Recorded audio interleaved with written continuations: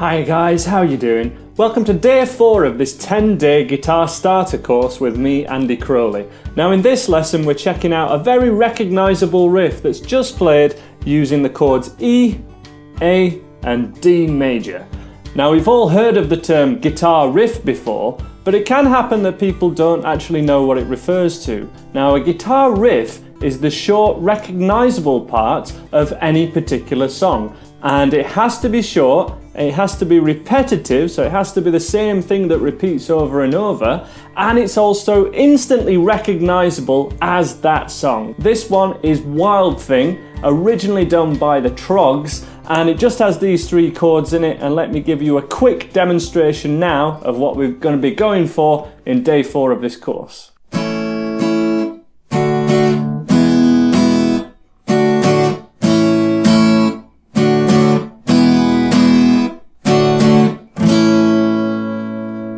Now most people watching this video should recognize that as Wild Thing. And I'm not going to say everyone because there's always someone that doesn't recognize a certain song, but most people will. And if you don't know it, other people will definitely recognize it if you play it. And that can be a fantastic asset to have especially in your early days of playing guitar, when you really want things to sound exactly like the record and sometimes it doesn't, or sometimes we play simplified versions of songs. It's great when this sounds absolutely like the record. Let's get in for a close-up and now and learn this easy song. So to play Wild Thing, we start off in an A major chord and we're going to play in this fashion in congruence with the rest of the course. If you're not familiar with this A chord and you're more familiar with this way of playing in A or any other way, you can use that, but I advise this one because this riff is constantly changing chord from the A to the E and the D chord, and we want to make that change as good as possible, and that's the idea of this finger staying down, this anchor finger that we have between all these chords, which never quite lifts off, it just slides. So we're going to start off on an A chord and we're going to strum twice. That's twice on the beat, so join in with me now. Three, four, one, two. Be careful not to pick the thickest string, but we can have our thumb on top, like this. So this sound is made when we just pick that string. We're not pressing down and getting a note, we're just muting that string with our thumb. So then I can strum all the strings, and that thickest string is not heard. A very handy skill. So we strum twice, then we change to the D after a slight pause, and we strum twice but quicker on two down strums. So A, A, D, D. One, two, three, and four is the rhythm of it. One, two, three, and four. Now to make that change smoother, we can mute by laying our hand over the strings at the sound hole like this. And that will really clean up the sound and make this riff sound a lot better. But it will sound like Wild Thing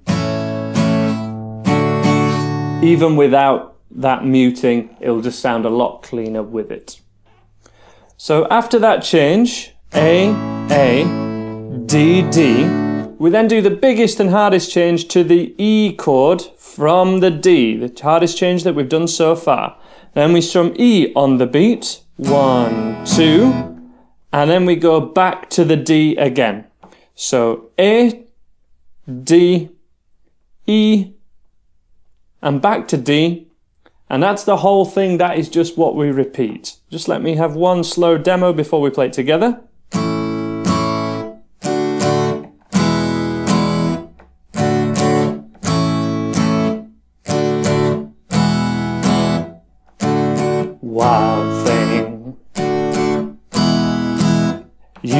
My heart sing. Hopefully very recognizable for you guys. Let's have a go at playing it together really, really slowly. Play along with me, starting from the A chord. In, two, three, four. To the D, and then to the E. One, two, back to a D, and four. Let's give it another go, really slow. In two, three, four. A, A, mute, D, D, to the E, E, chord, 3, D, D. This time we're going to try this riff in a loop. Let's try and play it four times. Remember with these guitar riffs, they have to repeat, otherwise it's not a riff. It has to repeat exactly uh, for it to sound correct and sound and be the song that we're going for. So one more time, but we're going to cycle this whole riff four times from the A chord in two, three, four. A, A, three, and four. E, E to the D, D, D. From the top again. A, a, D, D, E, E, D, D, A, A, D, D, E, E, D, D. And that's our riff, okay? Couple of tips. Remember, we had this thumb just creeping over the top and taking out, muting this thickest string. That thumb wants to be in the same place on the D chord but it needs to lift higher on the E because it's all six strings that we want ringing out on the E chord, but when we're on a D chord, we ideally want the thinnest four, but it's okay if we just catch that A. It's not going to sound bad, but it sounds really bad if that thickest E string is um, ringing out on a D chord. We don't want that.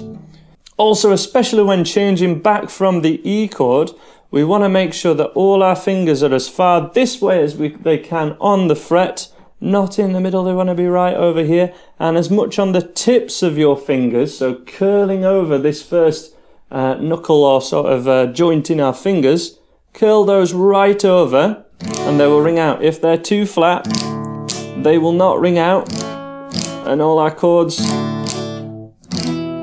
will sound a bit a bit flat and not quite ringing out. The correct way, right on the tips, really right on the tips.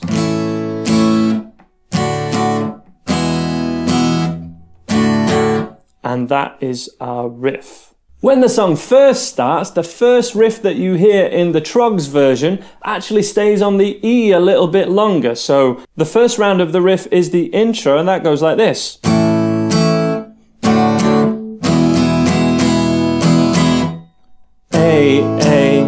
D, D, E, E, E, E, E, E. And then they start singing Wild Thing.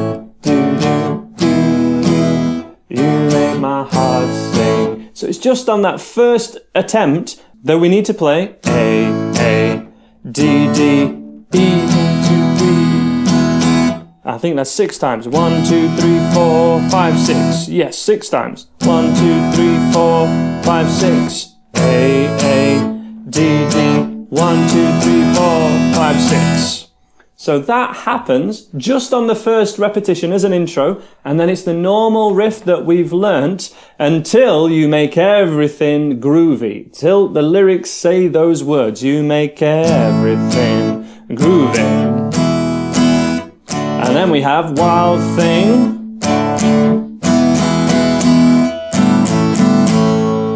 Wild Thing, I Think I Love You. We have that section, which is, I'd count it as a middle eight. It's in the middle of the song, and it's longer than eight bars, but it's kind of this, this middle section, uh, and, and a little part, where we're gonna play this little riff. Now this is where we're going to be playing the more advanced A chord, three in a line, which you may find easier to do, but it is harder to change between the chords for the, with this A. That's why I'm saying it's more advanced.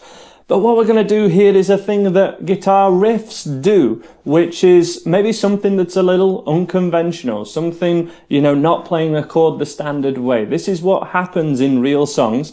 And for this one, we're just going to lift off of the uh, of the A chord, have all open strings, and strum the middle four strings. One, two, three, four, and then we strum those same strings. And that's how we play those four notes. One, two, three, four. Wild thing, I think I love you. But I wanna know for sure. That section, okay? We have four strums, one, two, three, four, and we have four of those. Four of, four of that whole thing. So let's try and do that together. In one, two, three, open, down, open, down. Wild thing, I think I love you. Again, strum. Open, down, open, down. But I wanna know for sure. Open, down, open, down. So come on and hold me tight. Last time. And then we go back into the main riff, which we need to go back to that other way of playing an A. And if you want to play along with me and play this riff as you remember it, let's give it a go. Two, three, four. D, D, E, E, D, D, wild thing. D, D, E, E, you make my A, A. D, D, you make everything groovy. So one more time. Wild thing. And then one, two, three, four. I'll do that one more time. One, two, three, four. Open A, open A. Wild thing, I think I love you. But I wanna know for sure. Open A, open A. You can keep your thumb here the whole time because we don't ever want this one ringing out. And it sounds a lot better if we don't play that thinnest string. Sounds a bit heavier, a bit more rocky.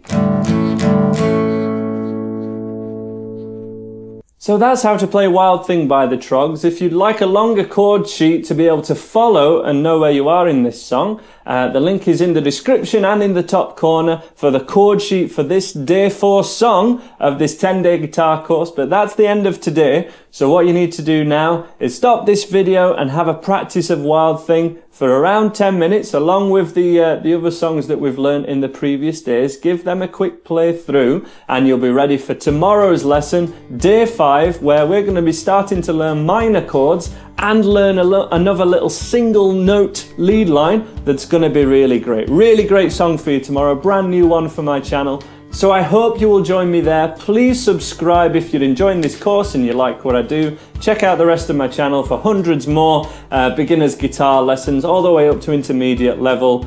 But I will see you in day five tomorrow of this guitar course. Take care of yourselves guys. Thank you very much for watching and bye for now.